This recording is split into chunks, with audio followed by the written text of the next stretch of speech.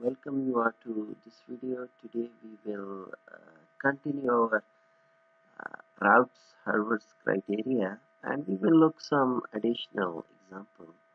And this is your article 6.4 in your book. So in the previous two sections we have introduced the Routh's Hurwitz criteria. Now we need to demonstrate the methods, applications to a number of analysis and design problems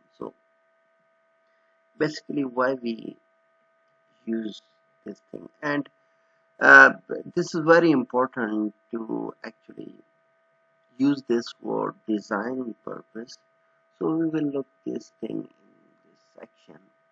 Now first of all just consider another example to start with and give us some uh, starting point that what we did last time. So for that case, example consider now find the number of poles in the left half plane, the right half plane and on the geometric axis for the system given in figure. So uh, the main idea is so we are not uh, we also want to find the stability but we find something more than that we also want to know the numbers that uh, how many poles we have on left side and how many poles we have on right off side and on the geometric axis. So for that case, so we have figure here. So first step is to find the closed loop transfer function. So I told you that this is g of s and this is h of s equal to 1. So just take the uh, write the feedback, closed loop feedback. So for that case, we have T of s as a closed loop transfer function and that becomes 200 divided by s power 4 plus s power 6s cube plus uh, 11s square plus 6s plus 200. So this is uh, what we get for closed loop transfer function. Now for this transfer function this one if we look at what is the highest power of uh, this um, denominator so highest power is s4 so this means that you have four poles. Now if you have four poles now next question is how you find that this uh, system is stable or unstable? So if I look at the denominator here so all signs are the same so this means that I'm unable to comment on the stability how we do that? So I need a Routh table to do it. So how I made a Routh table? So the first thing is I just put the power here. So I put s power 4 s power 3 up to s power 0 because starting is s power 4 now I pick the um, coefficient of s power 4 that is 1 I put here. Then 11 why? Because I have to choose the even power. So 4 2 and 0 so I put 1 11 and 200 from this denominator. Similarly for second row I, I put 6 and again 6 okay and 0 so I, I just divide throughout by 6 so it becomes 1 1 now it makes my life easier so that my numbers become smaller so it's easy to apply the formula so that I can calculate the next rows. If you remember from previous video that first two rows are actually calculated using the denominator of the transfer function. So after that I didn't put 0 here. You can put 0 here okay? He didn't put it but no harm to put 0 here okay? Now uh, I have to write this next row how I find it. So if you remember I need to put minus sign then determinant. So first column of determinant is 1 1 second column is 11 1 divided by this one. So when I solve 1 minus 11 so it becomes 10 divided by 1 so with minus sign it becomes so minus minus cancel out. So we have 10 here. Okay. Now we have to move to next value. So 10 I put 10 here. Then I have to find this two uh, second value. For second value again I put 1 1 and then I put 200 and 0 when I solve it it becomes minus 200 divided by 1 so I put uh, minus minus become plus so it becomes 200 okay. Now again I divide it by 10 it becomes 1 and 20 so why I do that? I can do it and this make my life easier okay. now after that I have to move to next row for for next row I have to use these two rows for calculation. That is 1 1 120 0 0 so again to calculate I first column is again 1 1 second is 120 divided by 1 so when I solve it it becomes um, 1 so it becomes 20 minus 1 that becomes 19 with minus sign it becomes minus 19 again I solve the next one because these are zeros it becomes 0 again the next is 0 so I don't need to write zeros here. Now again I move further. So for next uh, row what I have to do is that I use these two. So it becomes 1 minus 19 second is 20 0 when I solve it becomes 0 minus minus becomes plus.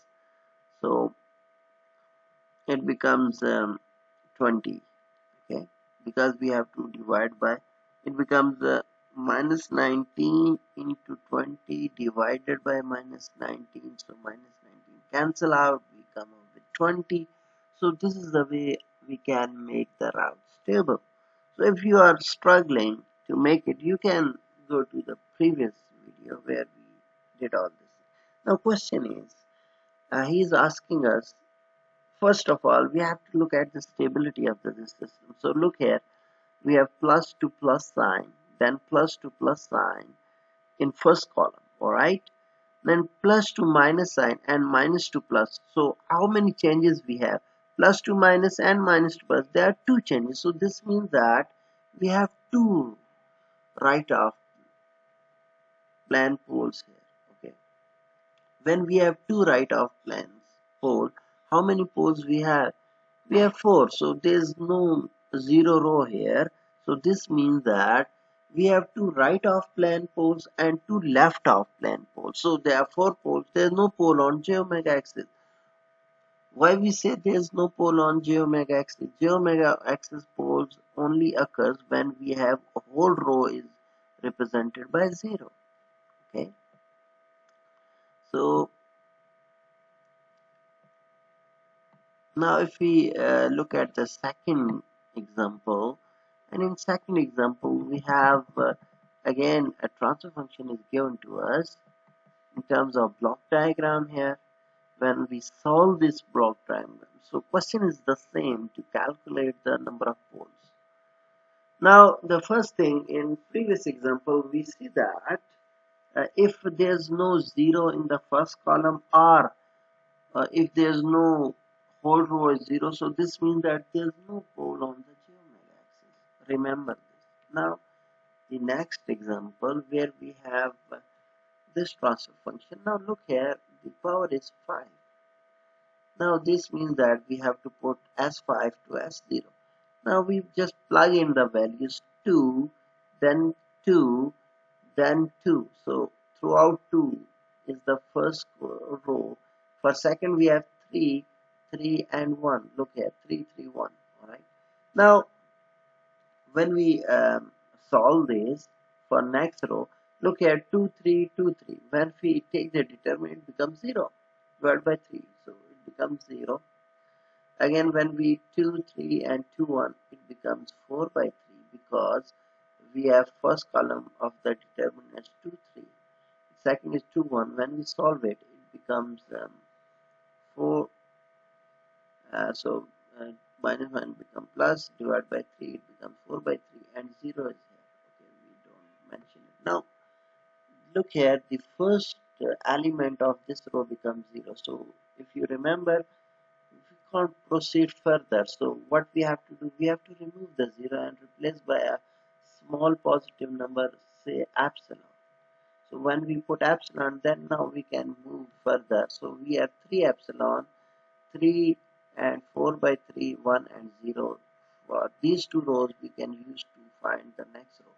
When we uh, apply the formula it becomes 3 epsilon minus 4 divided by epsilon then 1 then again we can find the next formula and so on.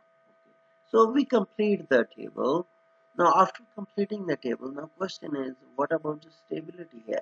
So how we find the stability? We have to look for the first column here. So for first column what is the sign of the first element here in the column is positive. second is also positive.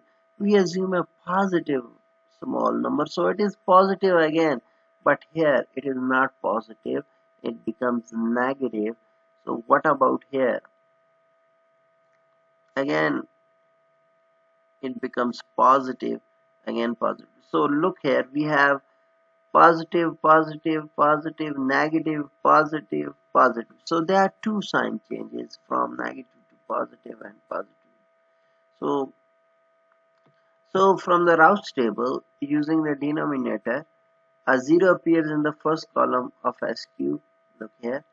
Since the entire row is not 0 simply replace the 0 with a small quantity and continue table permitting epsilon to be a small positive quantity find the first term of S square row in negative thus there is a two sign changes and the system is unstable so we know that sign changes so how many sign changes? Two sign changes. So this means that you have two poles in the right of plane.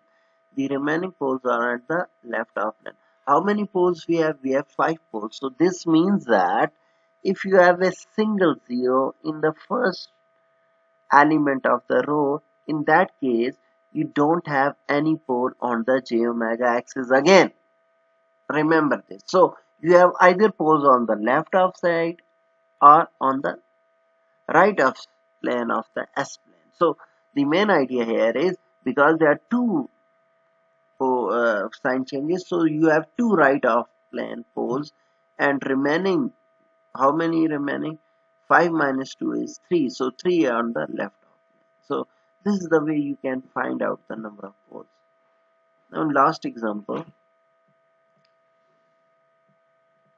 we will uh, look at when we have whole row is 0 for that case we have this uh,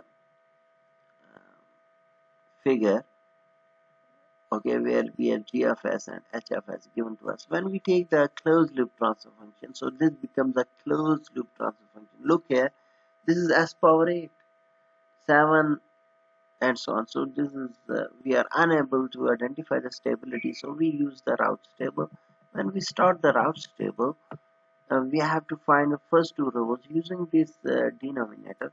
So this is the even power even power we have to start with even power so for s8 the coefficient is 1 we put 1 here then coefficient for s6 10 then s4 48 then s2 128 then s0 128 now the next one 3 then we have to put 24 then we have to put 96 then we have to put 192 and 0 okay? Now we divide it throughout 3 so make the numbers smaller so that calculation become easier so it becomes 1 1 10 8 and so on. Now from here for first two rows we have to calculate the next number. So for that case we have to take minus determinant of 1 1 10 8 divided by 1 so when we solve it it becomes 2 again we will move to next one. So for that case uh, we will continue with 1 1 48 32 it becomes uh, 16 then 64 when we divide it by 2 it becomes 1 8 32 64 now after that we have to use the s7 s6 row to calculate for s5 when we do that it becomes um, actually 0 because 1188 when we take the determinant 8 minus 8 is 0 so it becomes 0 now then 1132 again 0 1164 64 64 again 0 so whole row is 0 so what is the remedy for whole row is 0 so what is the remedy? We have to move the above row and write the polynomial for s6 so we wrote here this is also known as auxiliary polynomial. So P of S is becomes uh, we have to write for S6 is becomes s6 plus 8s4 plus 32s square plus 64 so this is the polynomial. Now we have to take the derivative of this polynomial so that we can write for s5 because this is s6 so when we take the derivative it becomes 6 s5 so I put 6 here. Then it becomes uh, 32 s cube then it becomes 64 s okay? So this is the way we wrote this um, uh, sorry uh, this row becomes 6 32 64 and 0 okay? So uh, we know that we just divide with 6 it becomes 3 16 32 and 0 okay. so after that we use this and we continue table so that we complete the whole table. Now look here we have one row equal to 0 so this means that when you have whole row 0 so this uh, is uh, very evidence that you have some poles on the j omega axis. So j omega axis poles come only when you have whole row is 0 in the Routh's table. Now look at the sign here. Plus plus plus plus plus plus to minus minus to plus. So this is evident that your system is unstable. First thing. Now the next thing is how many changes you have two sign change. So this means that you have two right of plane poles. So when you minus from 2 it becomes uh, 6 remaining poles become 6 now how many j omega axis so for j omega axis you have to look for auxiliary equation here uh, polynomial. So you have to look at the what you say power of this auxiliary so it, it, it is 6 so this means that you have three pairs on the j omega axis so look here so uh, we just take the derivative and we know that there are two sign changes from the even polynomial at S6 rows down to the end of the table. Hence the even polynomial has two right of. So it's very obvious. So I just plug it that we have two right of. Because of the symmetrical about the origin, the even polynomial must have an equal number of left of plane poles. Okay. Now because uh, this is an even uh, polynomial we have two right off so to make the symmetry we have two uh, left off poles as well now how many remaining poles we have two j omega axis poles okay? So from auxiliary we know that we when we take the roots so we come up with two j omega so uh, this will give us how many poles at the j omega axis this equation? Sorry not this one. P of s when we plug is equal to 0. So uh, this is the way we can use Routh's table to find the number of poles. Now the next we will use this for design purpose. How we use it. So this is a transfer function where we have to design a controller K. So this is G of S. So when we write the closed loop, we come up with S cube plus 18s square plus 17s plus k. Now, to make the table, it's very easy. We start from s cube, it becomes 1, 17, 18k, and then we come up with next. So, for first row to be stable, uh, the sign must be same. So, look here, we have positive, positive. We need positive for s one rows element and last row. So, this means that k must be greater than 0. Similarly, this means that 13k86 minus k divided by 18 must be greater than 0. When we solve this, we come up with values of k and for stability, k must be greater than 1386. Okay. So this means that uh, uh, this system is stable when k values is more than 1386. So 1386 is the boundary value of k that differentiate for stable and unstable system. So for stable system, K must be greater than 1386. for marginally stable k must be equal to 1386 when I plug in uh, equal to k 136 look here this becomes 0 if this is become 0 so whole row is 0 how you uh, remedy for this thing? If you look at the previous example you take the above row and write the polynomial. So I wrote polynomial here 18 s square plus 13 86 because I plug the value of k so this is known as auxiliary polynomial. So when I take the derivative so it becomes 16 s and 0 I can continue. So from here uh, when I put this thing uh, when I solve this uh, auxiliary equation so that I can find the uh, pole on the j omega axis when I solve it so s becomes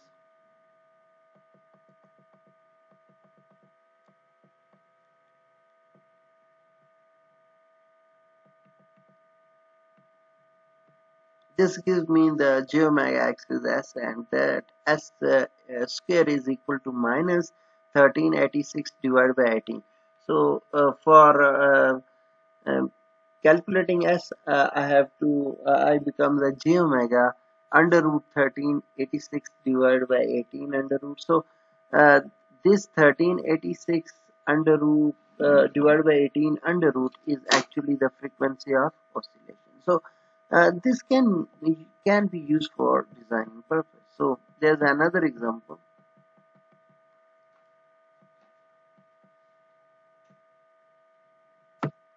So and this one you can solve it by yourself and uh, you can find the values of k for stability and also for geometry. Now last topic where we have stability in state space. So if you remember for state space, um, if I um, look at the transfer function. Transfer function are denominator. So denominator polynomial is equal to determinant of si minus a equal to 0 so take the determinant and you get, get the closed loop um, look here. You get the closed loop uh, polynomial for zeros and that becomes determinant of lambda phi minus a equal to 0 so when you solve this you have the um, with s you have the actually the polynomial that is denominator of closed loop transfer function. So look here. I just go through it very quickly. So this is your state space form. So what you have to do you have to take the determinant of si minus a so that you can find the closed loop transfer function closed loop uh, poles of the system. So for characteristic equation I just take the determinant of this it becomes x cube minus 6s so for that characteristic polynomial you have to uh, develop the table and you can find the stability of this state space so when I develop the table so I can use the Routh's criteria. Look here it is plus minus minus minus minus. So there's only one sign change. So this is a unstable system.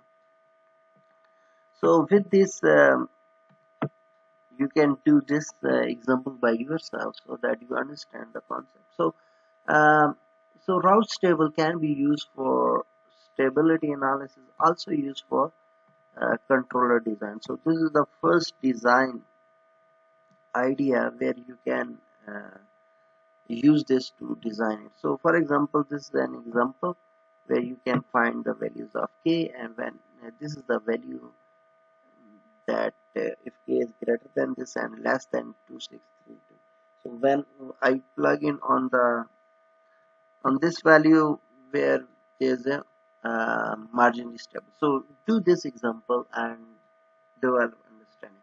Thank you. I will stop here